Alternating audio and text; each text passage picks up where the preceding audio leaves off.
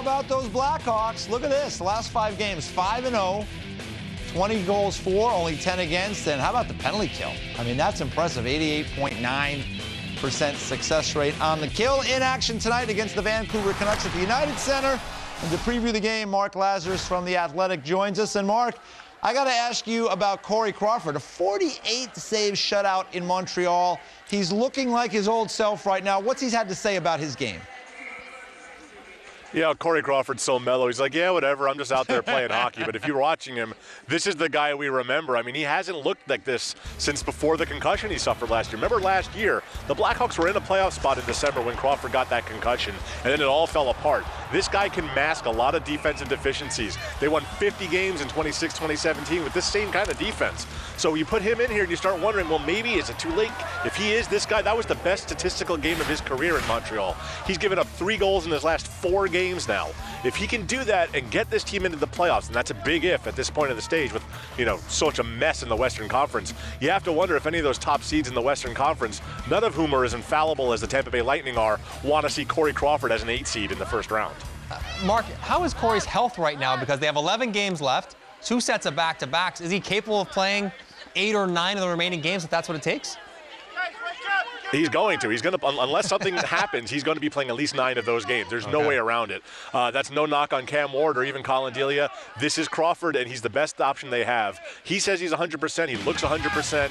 Uh, you know, he, they, they were very patient with him with both concussions. They really took their time about getting him back, getting him back in game shape, making sure he was really ready. He got run over in uh, uh, Evander Kane pushed uh, uh pushed uh, I think Dylan Strome into him in December, mm-hmm. and that knocked him out again with that second concussion for a couple of months. But he's he was on the ice for weeks before he got back into the lineup. He's at 100% conditioning wise. He's feeling good. He's tracking pucks well, and if you saw that game in Montreal, you know he's on top of his game.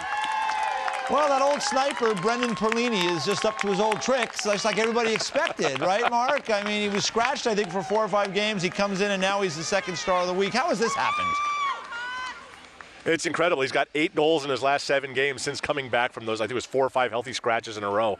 Uh, he came back in LA, scored two goals that game. I talked to him the, the, before the San Jose game after that, and he's talking about you know how he watched the, the, the, documentary Free Solo and how it changed his whole outlook on things. And you know this guy is climbing El Capitan, and he makes one mistake, he's dead. If Brendan Perlini makes one mistake, so what? He's playing hockey. It's not that big a deal. And this mindset change seems to have worked wonders with him. It sounds almost silly, but it's incredible to watch him now. All of a sudden, he's on the second line. He's getting major minutes. He's scoring big goals. He was non-existent for most of the time since he came over in that Nick Schmaltz, Dylan Strome trade. He was the proven scorer in that trade, not Dylan Strome. Strome was really the prospect.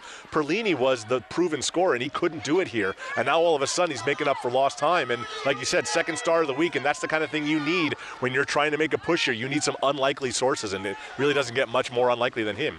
Well, Mark, what about the most likely of source for offense in Chicago? Patrick Kane. His next point will be his 100th. Another incredible year he's having. But he's been bounced around a little bit, almost down to the third line. What was his reaction to that? And what does that reaction say about his maturity and leader, leadership on this team? Yeah, you know, for a lot of the season, he was on the top line with Jonathan Toews, which is something that Joel Quenneville never really wanted to do, and it usually doesn't work out. But man, were they producing like crazy. But then after a little bit of a dip, Colliton split him back up, and now he's got with Perlini playing well. He's got him with DeBrincat and Strome. All of a sudden, he's got Kane on the third line. Now you take that with a grain of salt because Kane is going to get about a quarter to a half of Dylan Sikura's shifts on that top line. They always double shift Kane. But he's a guy who's been playing 25, 26, 27 minutes a night most of this season. The Hawks have been leaning on him so heavily. The last three games, he's played 17, 18 minutes a night. That's unheard of for Patrick Kane.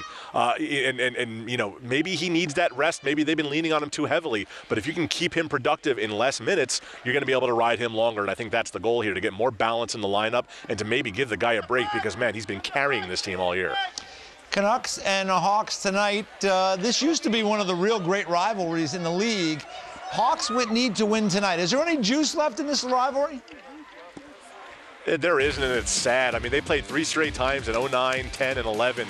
And oh my God, did they hate each other. You had Dave Bolland against the Sedins. You had Ryan Kesler against Jonathan Toews. It was so great. Now, you got four Blackhawks left from that era. You got Toews and Kane, Keith and Seabrook, but there's pretty much nobody left on the Canucks. You know, once the Sedins retired, that, that era ended, and it's such a shame. I mean, you know, when I was, you know, coming up in this in this city, it was it was Hawks Canucks and it was Hawks Wings. And both of those rivalries are dead now. The Wings are in the Eastern Conference. the Canucks are a completely different team, and and you kind of miss those days. It's like the old Wings Avalanche, you know, when teams truly hated each other. You don't get enough hate in the league anymore, you know. and it's, it's a shame to watch these teams play a basically emotionless game out there. It's like you makes it long for the old days.